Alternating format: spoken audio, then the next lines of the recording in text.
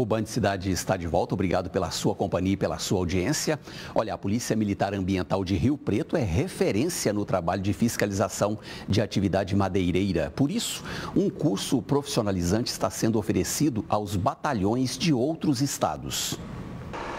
O estado de São Paulo é considerado a principal rota de escoamento da madeira desmatada da Amazônia Legal. Por isso, tem intensificado a fiscalização.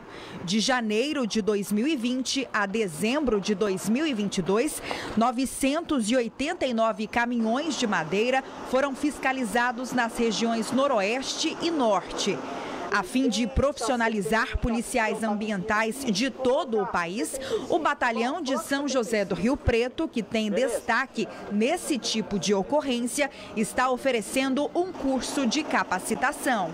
Nós temos um curso de especialização profissional em fiscalização madeireira, que é do Comando de Policiamento Ambiental do Estado de São Paulo, e ele é desenvolvido aqui em São José do Rio Preto, no 4 Batalhão. Ele é oferecido a todos os policiais ambientais do país todo e também aquelas pessoas envolvidas com a parte de gestão ambiental.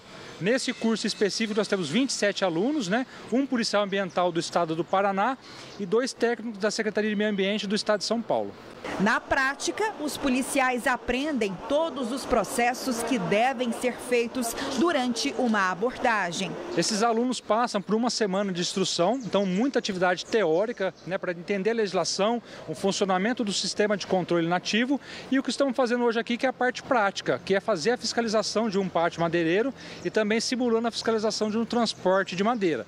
A gente sabe que 30% da madeira que vem da Amazônia Legal adentra o estado de São Paulo por isso que a gente tem essa função importante de fiscalização para coibir que madeira ilegal adentre o nosso estado. Sempre que há irregularidades, a madeira é apreendida e doada. Além dessa contribuição com a Amazônia Legal, né, para contribuir com esse desmatamento e o fluxo ilegal de madeira, essa madeira que é apreendida ilegalmente sem documento, ela acaba atendendo aí instituições assistenciais da nossa região. Diariamente, dezenas de caminhões carregados de madeira nativa oriunda da Amazônia passam pela malha viária paulista para abastecer a indústria da madeira. Sem a documentação correta, isso gera prejuízos sociais, ambientais e econômicos. Por isso, a importância desse curso para reforçar a fiscalização não só em São Paulo, mas em todos os estados brasileiros. lives. O cabo Paulo Augusto, da Polícia Ambiental do Paraná, foi um dos escolhidos para participar do curso. O estado dele também é um dos principais destinos da madeira da Amazônia. Foi quando abriu o curso, foi disponibilizada uma vaga para a Polícia Ambiental do Estado do Paraná. Aí eu fui voluntário a vir, aí fui indicado pelo meu comandante lá, é, lá, lá do, do, Paraná, né?